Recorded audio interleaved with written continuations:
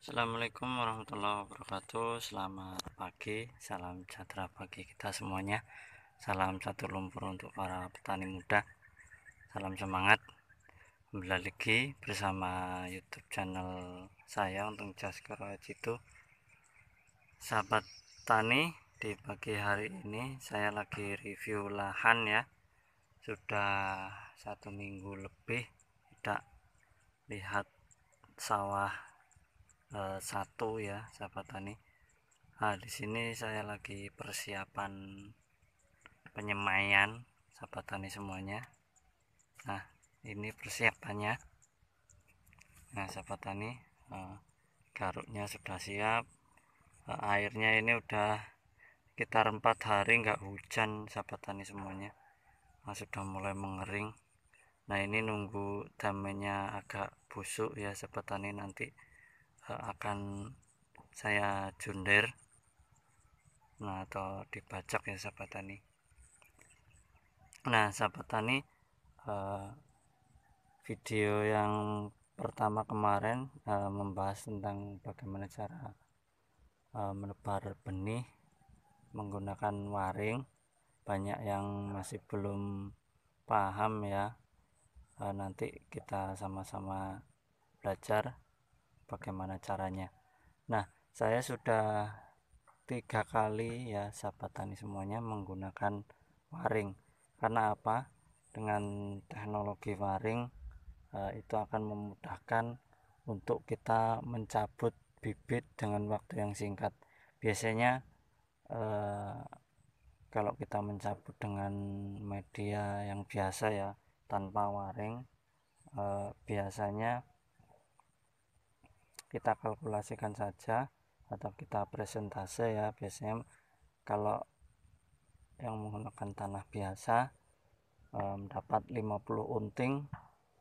Dan biasanya kalau menggunakan waring itu bisa mendapatkan 100 unting lebih bahkan ya sahabat tani dengan waktu yang sama.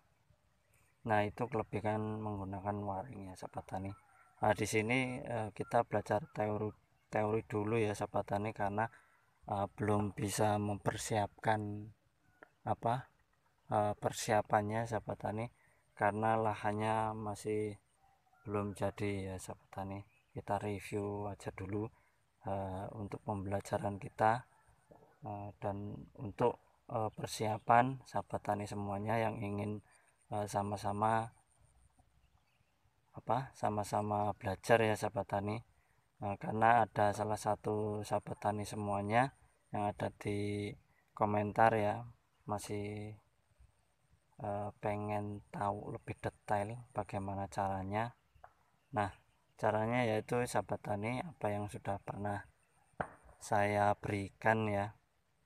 Nah kita atur olah lahan dulu ya seperti ini. Nah kita pacul-pacul dahulu damen-damennya kita buang ke sini seperti video yang sudah saya berikan kemarin. Nah jadi tutorialnya seperti itu ya sahabat tani. Nah uh, kemarin kan airnya masih banyak ya sahabat tani. Nah ini airnya sudah mengering sudah tinggal sedikit ya sahabat tani. Nah ini harus dilakukan atau cepat dilakukan uh, penggalengan ya sahabat tani. Jadi kita galeng dari sana seperti galengan yang di depan itu ya sahabat tani. Uh, dari sini terus galeng ke sini ya sahabat tani. Galeng.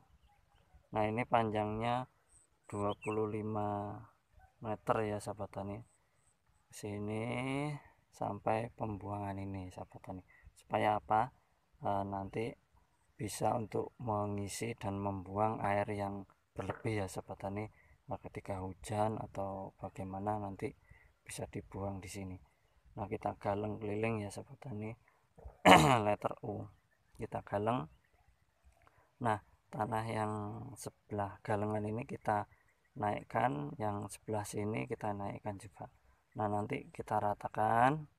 Nah sahabat tani setelah rata uh, nanti kita keringkan dahulu ya sobat tani karena apa? Uh, karena kalau tanahnya terlalu lembek nah mungkin sahabat-sahabat tani semuanya uh, ada yang komentar kenapa kok uh, punya saya malah lebih susah? Uh, dalam pertanyaannya. Itu mungkin faktor tanah ya sahabat tani nah uh, untuk lebih bagusnya ya sahabat tani uh, saya sarankan untuk media atau untuk tanah yang sudah kita siapkan siapkan ini kita keringkan dahulu ya sahabat tani.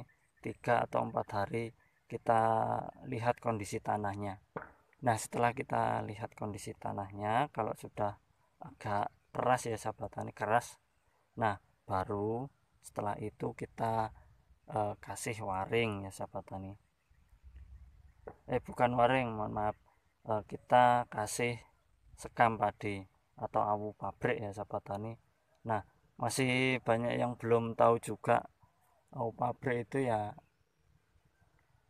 merang yang sudah dibakar ya sahabat tani. Merang yang sudah dibakar uh, kita ambil kita karungin bawa ke sawah. Nah setelah itu ya sahabat tani sudah tadi ya sudah mengeras eh, 3 sampai 4 hari kita lakukan pengeringan. Seperti itu. Tiga atau empat hari itu melakukan pengeringan. Setelah melakukan pengeringan sudah oke okay ini ya sahabat tani sudah agak keras. Jangan diairi ya sahabat tani begitu dikeringkan jangan sampai diairi dulu. Kita buang dulu melalui pembuangan ya sahabat tani nah, kita buang dahulu kenapa kita galeng dahulu? Karena nanti takutnya air yang di sana itu ikut terbuang. Sayang ya sahabat tani makanya kita galeng dahulu. Letter U ya nah seperti itu sahabat tani. Nah jadi langkah selanjutnya yaitu tadi. Persiapan lahan sudah dikeraskan ya sahabat tani. Setelah dikeraskan nanti kita lakukan atau penaburan uh, sekam padi basing sekamnya yang hitam boleh terus yang putih boleh. Yang penting uh, pembakarannya sudah maksimal. Nah setelah itu ditaburin di atasnya ya sahabat tani. Kenapa? Nanti akarnya itu tidak langsung semuanya eh, ngait di tanah ini. Karena kalau ngait di tanah biasanya agak susah ya sahabat tani. Nah makanya itu mungkin sahabat tani semuanya nggak pahamnya di sini e, mungkin ditaruh waring langsung baru ditaburin benih. Nah itu kesalahan sahabat tani. Itu sama aja tidak uh, apa ya tidak maksimal. Karena apa? Langsung menyentuh dengan tanah tersebut. Nah sahabat tani mungkin sampai di sini ya uh, penjelasannya tentang itu. Uh, mungkin di lain waktu kita bisa sambung lagi tutorialnya ya sahabat tani. Mudah-mudahan bermanfaat. Nanti kita lanjutkan proses selanjutnya bagaimana caranya dan detailnya. Nanti kita jelaskan bersama-sama. Dan sampai di sini saya akhiri. Wassalamualaikum warahmatullahi wabarakatuh. Salam semangat salam petani juang